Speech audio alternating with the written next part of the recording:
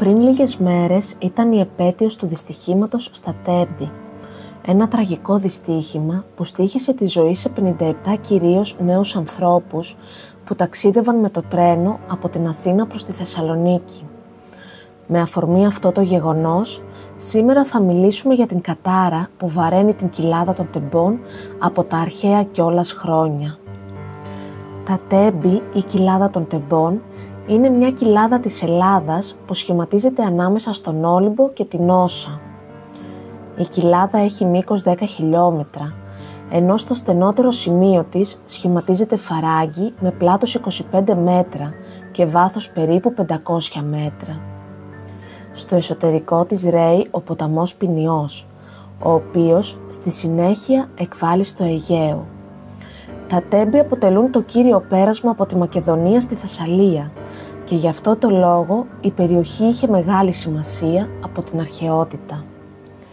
Σύμφωνα με το μύθο, ο Ποσειδώνας ή ο Ηρακλής άνοιξαν δίωδο χωρίζοντας τον Όλυμπο από την Όσα για να χυθούν στη θάλασσα τα νερά της εσωτερικής λίμνης Νεσονίδος που κάλυπτε τη Θεσσαλική πεδιάδα. Βέβαια η επιστήμη έχει διαφορετική άποψη. Σύμφωνα με τους γεωλόγους, η Θεσσαλία πριν από λίγα εκατομμύρια χρόνια ήταν αποκλεισμένη από τη θάλασσα και τα χαμηλότερα τμήματά της βάζονταν από τα νερά μιας μεγάλης αλλά μετρίου βάθους λίμνης, η οποία κάποτε ξεχύλισε λόγω των αποθέσεων φερτών υλικών σε αυτή και τα νερά της βρήκαν διέξοδο προς το Αιγαίο Πέλαγος ανάμεσα στον Όλυμπο και την Όσα. Το υδάτινο ρεύμα που δημιουργήθηκε, ο μετέπειτα ποινιός, διάβρωσε ακόμα περισσότερο τους ορεινούς όγκους και διεύρυνε το άνοιγμα σχηματίζοντας την κοιλάδα των τεμπών. Είναι πιθανό η δημιουργία των τεμπών να προήλθε από ένα μεγάλο σεισμό, κάτι που αναφέρουν ο Ηρόδοτος, ο Στράβων, ο Βάτων της Συνόπης και ο Φιλόστρατος. Η κοιλάδα των τεμπών είναι γνωστή με αυτό το όνομα από την αρχαιότητα. Μάλιστα αναφέρεται ως τέμπεα και στο συνειρημένο τύπο τέμπη που επικράτησε. Το συγκεκριμένο όνομα προέρχεται κατά πάσα πιθανότητα από το ρήμα τέμνο, χωρίζω, κόβω στα δύο και υποδηλώνει το αποτέλεσμα της σεισμικής δόνησης που προξένησε τη διάνοιξη της κοιλάδας. Η κοιλάδα των τεμπών είναι αφιερωμένη στη λατρεία του θεού Απόλλωνα, θεού του θρησκευτικού καθαρμού και της μαντικής. Η ίχνη του ιερού του Απόλλωνα Πυθίου ή Τεμπεΐτη βρέθηκαν στην ανατολική έξοδο της κοιλάδας, στη δεξιά όχθη του Ποινιού, στο άκρο της σημερινής γέφυρας του ποταμού.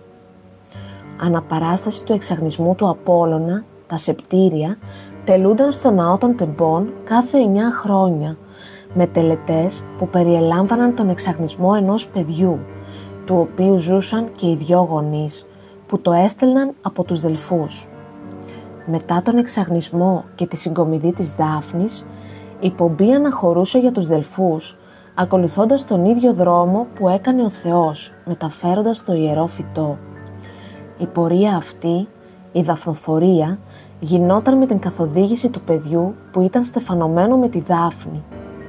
Οι ενώσεις αυτές διασφάλιζαν τον καθιερωμένο και μόνιμο χαρακτήρα της δελφικής πομπής. Αν θέλουμε να ψάξουμε τις ρίζες του προβλήματος της κοιλάδας, θα πρέπει να ανατρέξουμε πολύ μακριά στο παρελθόν. Την εποχή που οι θεοί είχαν ήδη νικήσει τους Τιτάνες στη δεύτερη Τιτανομαχία, όπου πλέον ο Δίας εχρήστη βασιλεύς θεών τε και ανθρώπων. Ωστόσο δεν είχαν όλα τελειώσει εκεί. Κάπου στους Δελφούς υπήρχε ένα ακόμη σοβαρό πρόβλημα που έπρεπε να λυθεί. Ένα πρόβλημα με τιτάνια καταγωγή, ο Πίθον, ο γιος της Γέας. Σύμφωνα με την ιστορία, ο Πίθον ήταν ο φύλακας του ιερού της μητέρας του Γέας. Το πρόβλημα ήταν ότι ο Πίθον είχε την κακή συνήθεια να σκοτώνει όποιον τύχαινε να περάσει από το μέρος που βρισκόταν, με αποτέλεσμα να μην μπορούν οι κάτοικοι να πάνε στα χωράφια τους ή στο διπλανό χωριό. Μην μπορώντας να αντέξουν άλλο αυτή την κατάσταση, ζήτησαν από τους θεούς να επιληφθούν του θέματος. αμέσως προσφέρθηκε ο Απόλλων να λύσει το πρόβλημα, αφού είχε άλλωστε προηγούμενα με τον Πίθωνα. Βλέπετε ο γιος της Γέας είχε πάρει εντολή από την Ήρα να σκοτώσει την κυοφορούσα Λιτό, ώστε να μην γεννηθούν τα παιδιά του Διός, Άρτεμις και Απόλλων. Η Λιτό ήταν αναγκασμένη να είναι συνέχεια στο τρέξιμο για να γλιτώσει τη ζωή και τα παιδιά της. Πράγματι ο Απόλλων ξεκίνησε από τον Όλυμπο πάνω σε ένα σύννεφο για τους Δελφούς. Ο Απόλλων καταφτάνει στους Δελφούς, βρίσκει τον Πίθωνα και ξεκινάει η μάχη. Μια μάχη σκληρή. Τα σύγχρονα βιβλία επιμένουν ότι εκεί σκοτώθηκε ο Πίθων. Δεν είναι όμως έτσι. Σε αυτή τη μάχη, ο Πίθων φαίνεται να τραυματίστηκε αρκετά σοβαρά, αλλά κατάφερε να διαφύγει. Ο Θεός τον κυνήγησε και τον ανακάλυψε στην κοιλάδα των τεμπών, όπου δόθηκε η τελική μάχη και κατάφερε να τον σκοτώσει. Ύστερα, ο Απόλλων επέστρεψε στους Δελφούς για να μεταφέρει τα ευχάριστα νέα στους κατοίκους, οι οποίοι, περιχαρείς και ανακουφισμένοι που γλίτωσαν από το μαρτύριο, μετέτρεψαν το ιερό της Γέας σε ιερό του Απόλλωνος και έστησαν μεγάλη γιορτή προς τιμήν του. Στο πέρασμα των χρόνων όμως, οι Θεσσαλοί είδαν ότι το σημείο της κοιλάδας όπου σκοτώθηκε ο Πίθων είχε πολλά θύματα. Θεώρησαν ότι το μέρος ήταν καταραμένο και έτσι κάθε εννιά χρόνια έκαναν τελετές εξαγνισμούς στην κοιλάδα.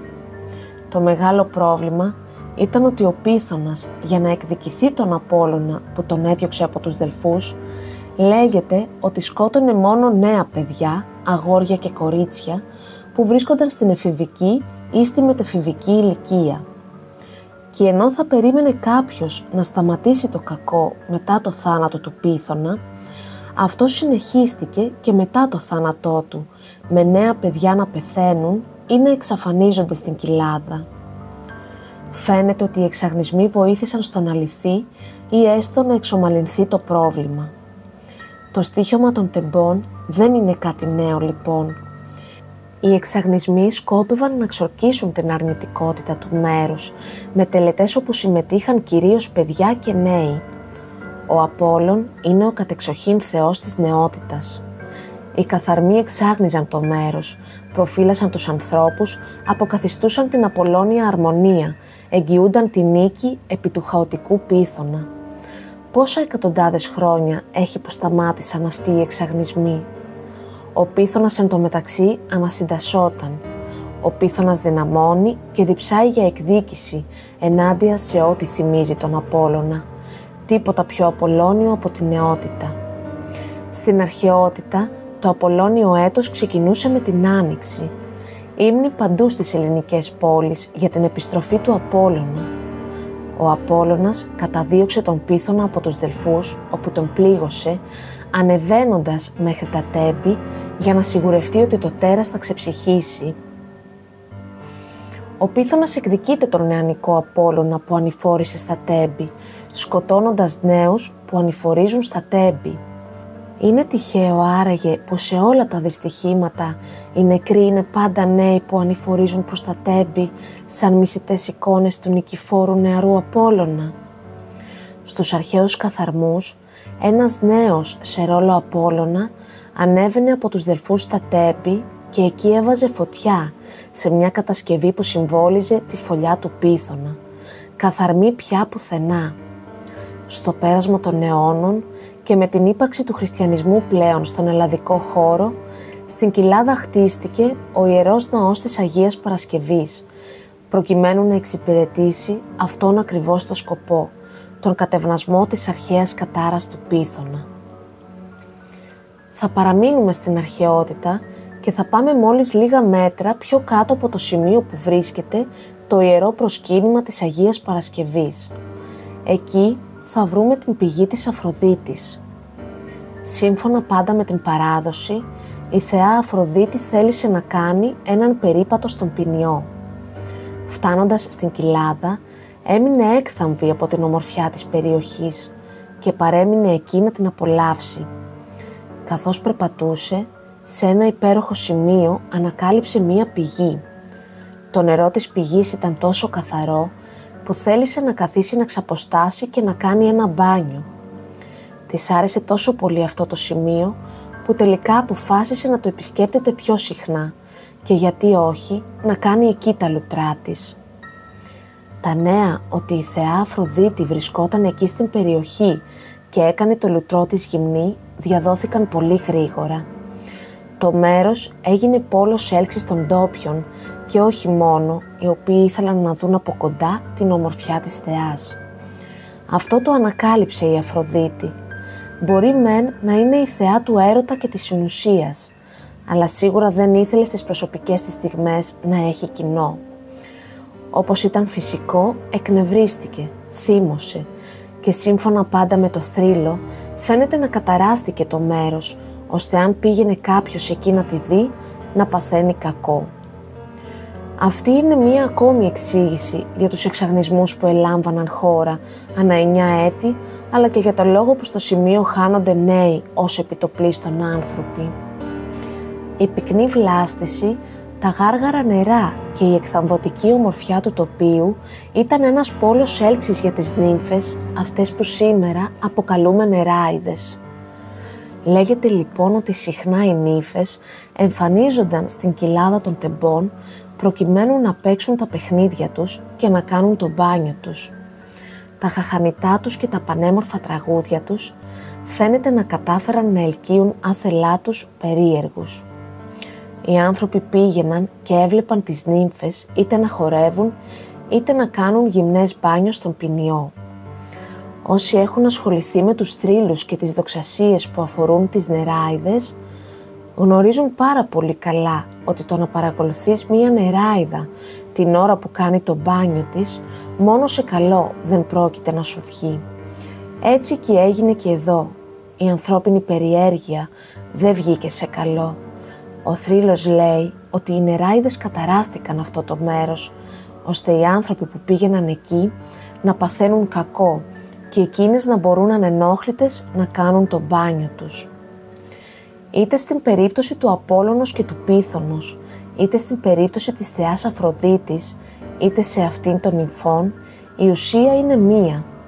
Η απαράμιλη ομορφιά της κοιλάδας των τεμπών φαίνεται να κουβαλάει μία κατάρα από τα αρχαία χρόνια.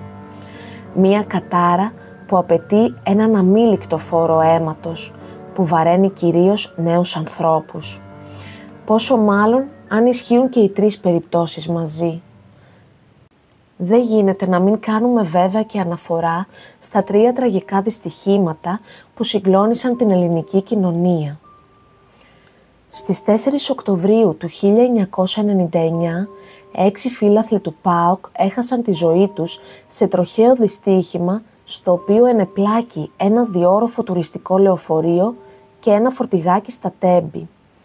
Το διόροφο τουριστικό λεωφορείο που μετέφερε τους φιλάθρους του ΠΑΟΚ από την Αθήνα στη Θεσσαλονίκη συγκρούστηκε με διερχόμενο φορτηγάκι που κατευθυνόταν στη Λάρισα, ενώ στη συνέχεια το λεωφορείο έπεσε σε χαράδρα 8 μέτρων. Σύμφωνα με τα ρεπορτάζ, δύο χιλιόμετρα πριν τα διόδια των τεμπών, το διόροφο τουριστικό λεωφορείο επιχείρησε να προσπεράσει προπορευόμενο όχημα, με αποτέλεσμα να βρεθεί στο αντίθετο ρεύμα και να συγκρουστεί με το φορτηγό. Ανάμεσα στους νεκρούς του δυστυχήματος ήταν και ο οδηγός του φορτηγού που συγκρούστηκε με το λεωφορείο, στο οποίο επέβαιναν 77 φύλαθλοι. 13 Απριλίου 2003 έγραφε το ημερολόγιο όταν γράφτηκε στα τέμπη μια ασύλληπτη τραγωδία με θύματα 21 μαθητές. Ήταν Κυριακή, μια νταλίκα που μετέφερε νοβοπάν ερχόταν από την αντίθετη πλευρά. Ο οδηγός έχασε τον έλεγχο και μπήκε στο αντίθετο ρεύμα. Τα νοβοπάν και οι μελαμίνες γλίστρησαν και άρχισαν να σκορπίζονται στο δρόμο. Μερικά από αυτά βρήκαν το λεωφορείο, όπως και η Νταλίκα. Από τη σύγκρουση χτυπήθηκε το μπροστινό μέρος, γδέρνοντας την αριστερή πλευρά του λεωφορείου. Οι ημάντες που συγκρατούν τα νοβοπάν υποχώρησαν, με αποτέλεσμα να πέσουν σαν ξηράφια στους ανυποψίαστους μαθητές.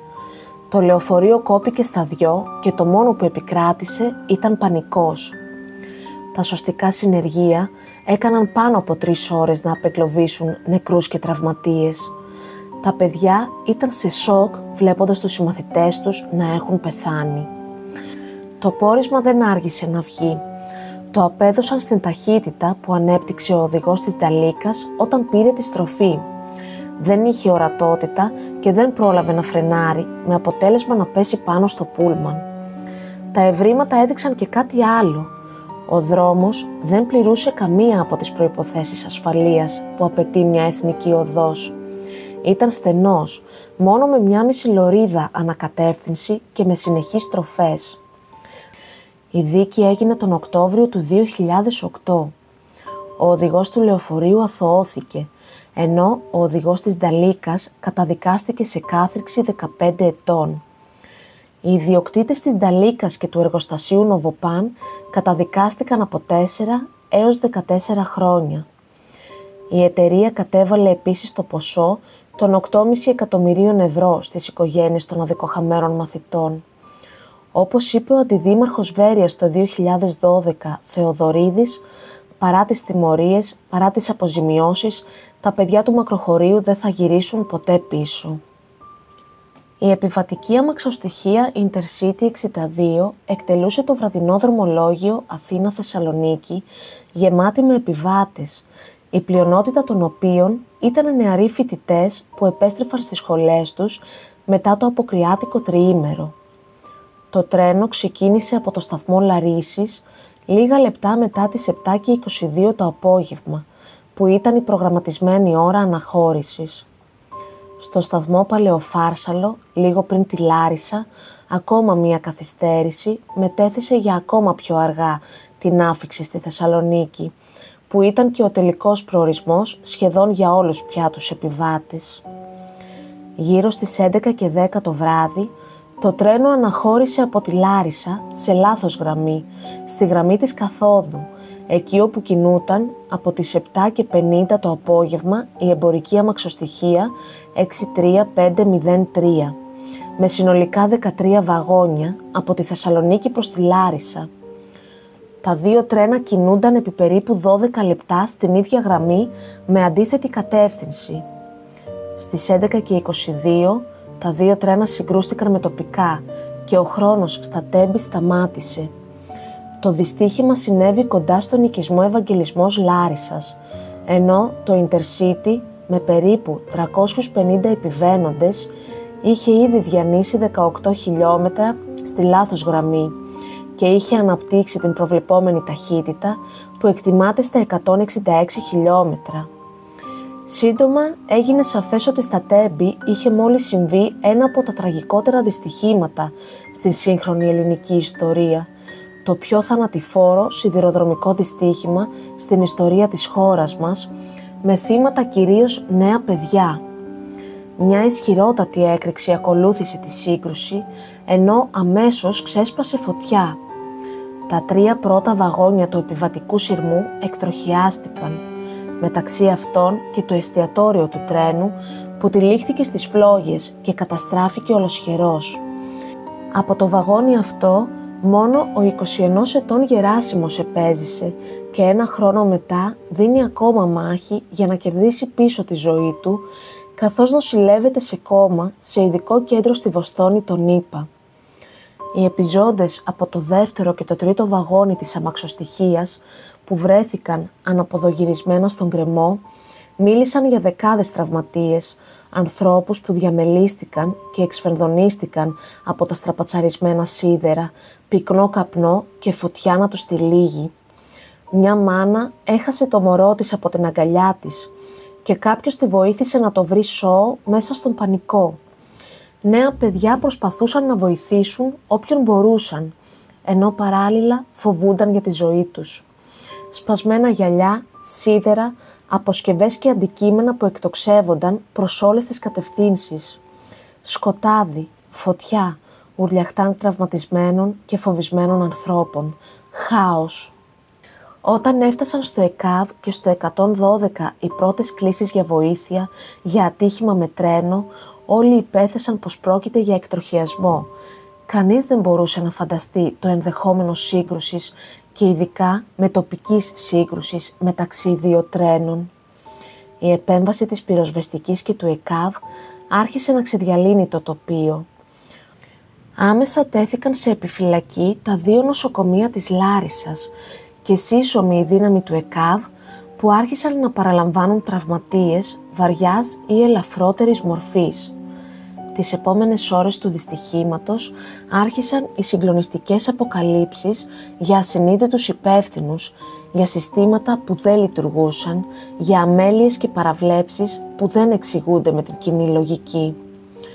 Η σοκαρισμένη κοινή γνώμη προσπαθούσε να καταλάβει πώς γίνεται να κινούνται δύο τρένα στην ίδια γραμμή στην Ελλάδα, στην Ευρώπη του 2023.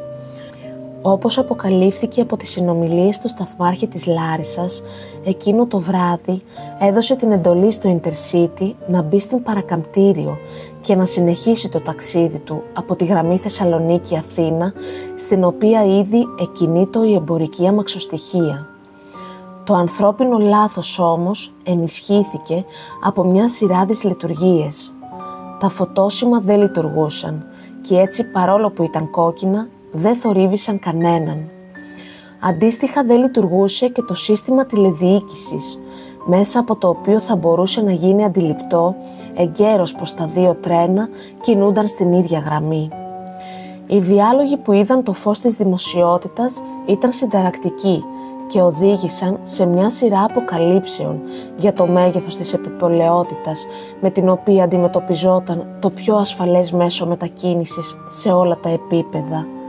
Είναι χαρακτηριστικό το ότι ο Σταθμάρχης, ακόμα και αρκετή ώρα μετά το δυστύχημα, αποκλείει το γεγονός να κινούταν το επιβατικό τρένο στη λάθος γραμμή, λόγω λάθους στα κλειδιά και ακούγεται να επιμένει πως έδιωξε το τρένο από την άνοδο.